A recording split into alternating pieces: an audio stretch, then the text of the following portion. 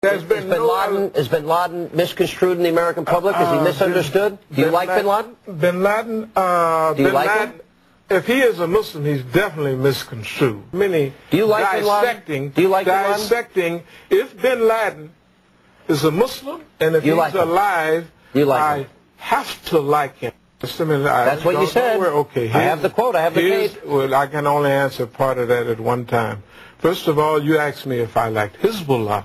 Hezbollah, Hezbollah is a great movement and a great organization. Great terrorist movement. But it's not a ter- you call it a terrorist movement. you cast your words. That's your State Department. I have the same. Do you like Hamas? Is Hamas a... Hamas just means enthusiasm. Hamas, Hamas is a terror organization and they take credit for terror. Look, Would you like to look at their history? Read it. Maybe learn something. 95 percent. I know Hamas. They they are nice people, very nice people. Hamas.